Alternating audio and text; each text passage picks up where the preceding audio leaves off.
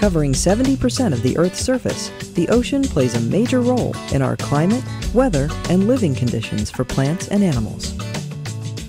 Through the NOAA Adopt a Drifter program, kids are learning about ocean currents in real time as scientists collect and analyze ocean data.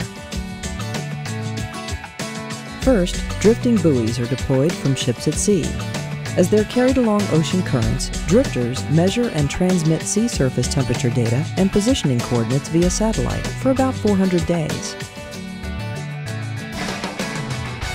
Surface ocean currents are a continuous directed movement of ocean water, generated by forces such as the wind and steered by the Earth's rotation. Surface currents carry heat from place to place, which affects our planet's climates.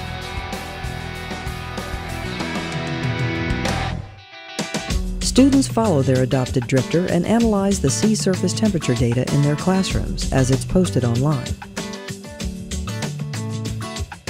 The data are then used by both ocean scientists and students to track warm and cold currents. Understanding where and how fast the warm and cold currents are flowing is useful in several ways. It helps provide more accurate weather forecasts, track oil spills, and learn where drifting plants, animals, and migrating species travel.